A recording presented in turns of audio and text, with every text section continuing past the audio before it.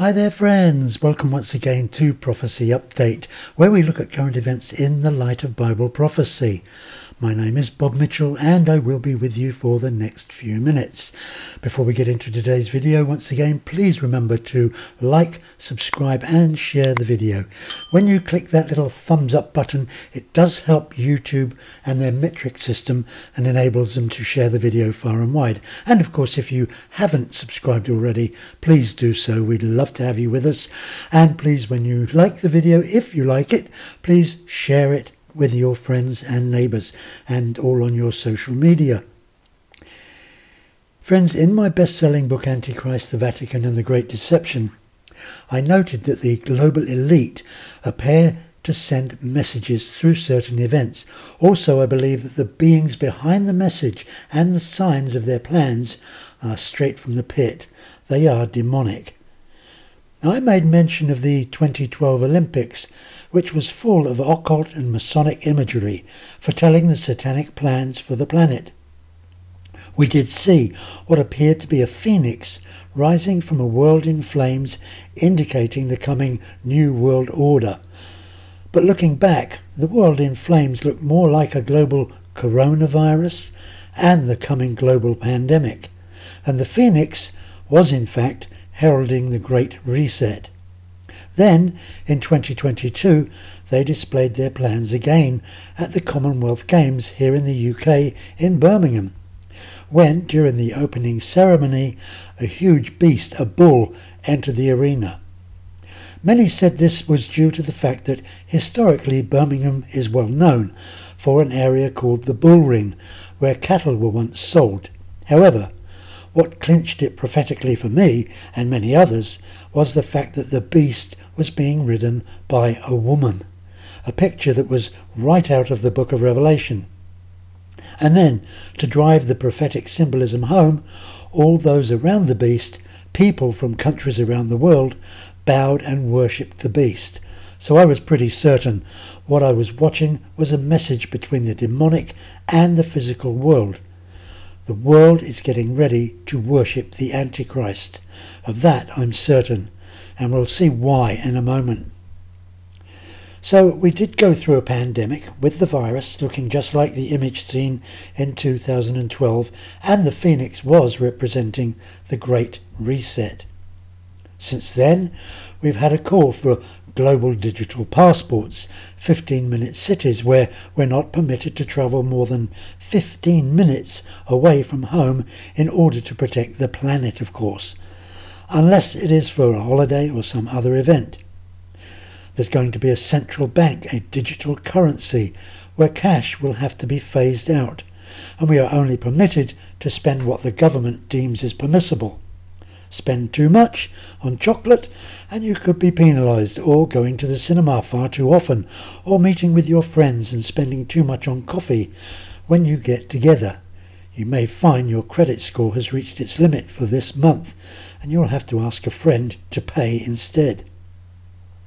Friends, this is only part of the world our leaders have planned for us, and so have Satan and the demonic world. It is they who are really orchestrating these global events from behind the scenes. So let's move on to the last few days and the Eurovision Song Contest. For those of you who don't know, this is a contest that is Europe wide and it's held every year since May 1956. Many of you will remember it was ABBA who won in 1974 with their song Waterloo. And that launched the group into superstardom, and their songs are still played and performed to this day, while other winning songs, many of them are long forgotten. A lot of the scoring is looked upon as being political more than just looking at the quality of the song, though most of us agree ABBA's song was head and shoulders above the others. Well, be that as it may, the quality of the songs has deteriorated over the years, and this year I believe it was at an all-time low.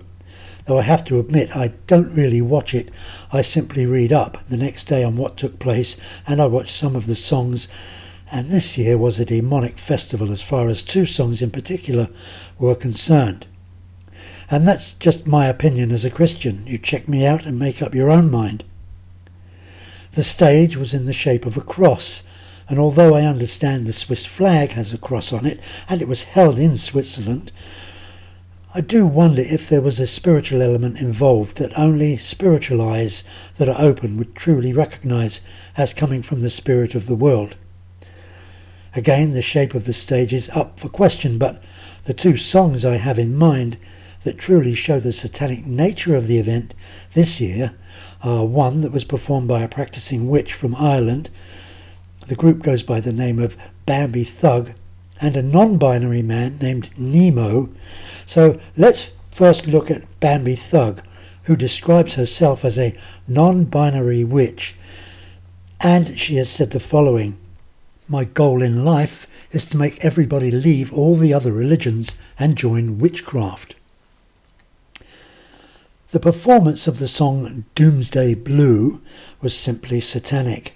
There's no other way to describe it. It was a promotion of Satanism, the occult, and witchcraft, which she calls Ouija pop, after the Ouija board, where participants attempt to contact the spirit world, something I did in my occult days before God rescued me.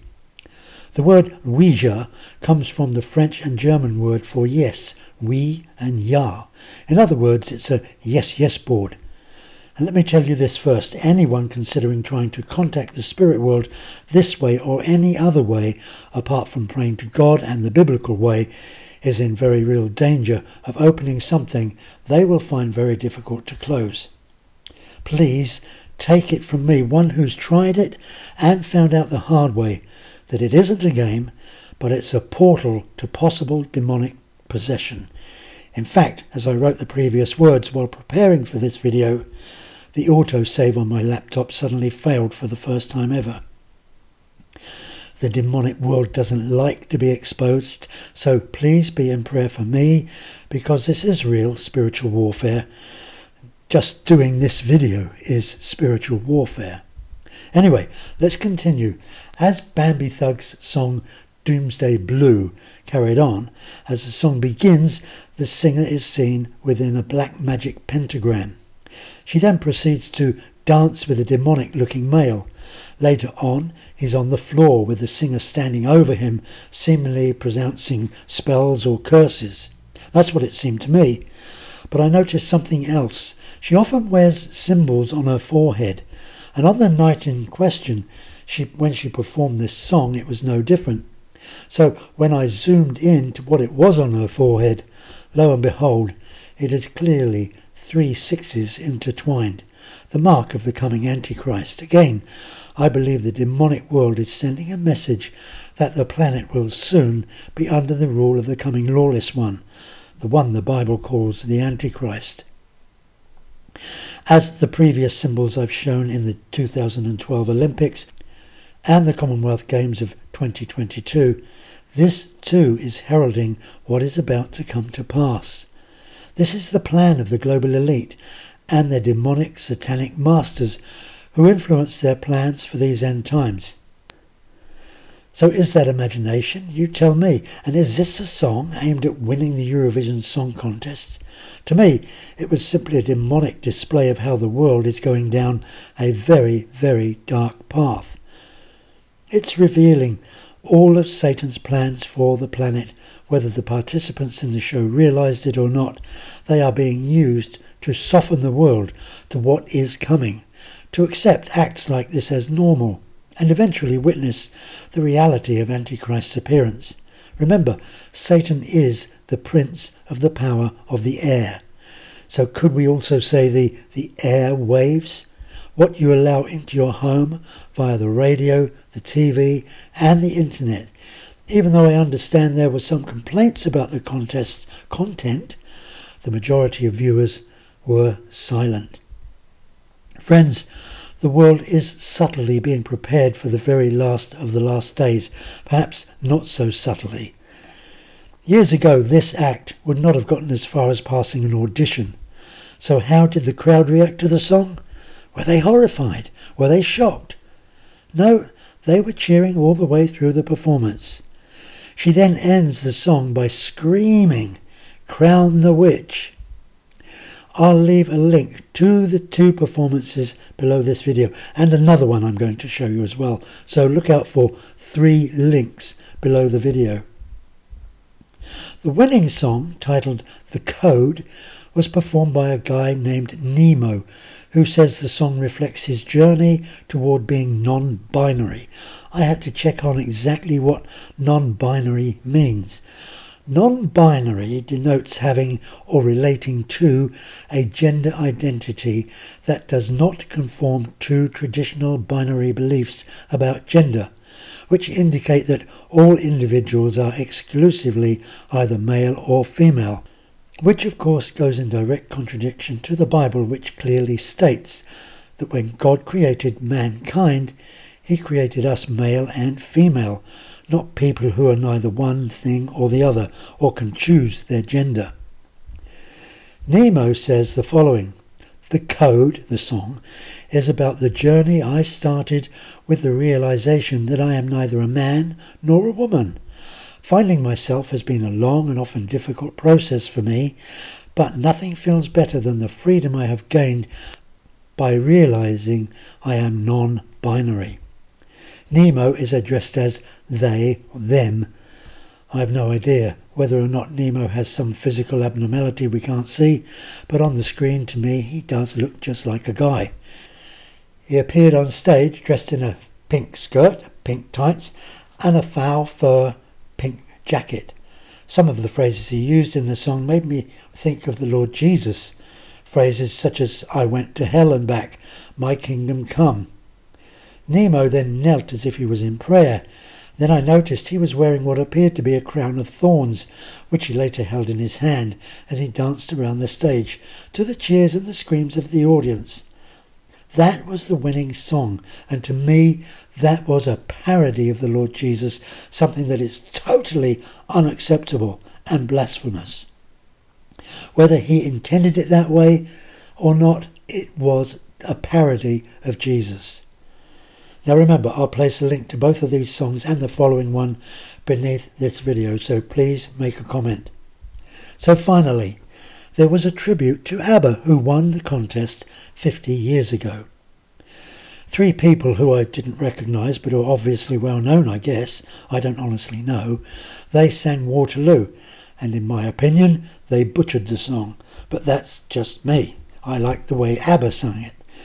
The trio consisted of two women and a bearded man in a shoulderless dress with a split up to his thigh. Well, folks, such is the world today. A non binary, multi gender, seasonal gender, if you wish, a planet that has totally fallen from the knowledge and the fear of the God of the Bible. It's a world that's heading for judgment and just doesn't know, or if it does know, it just doesn't care.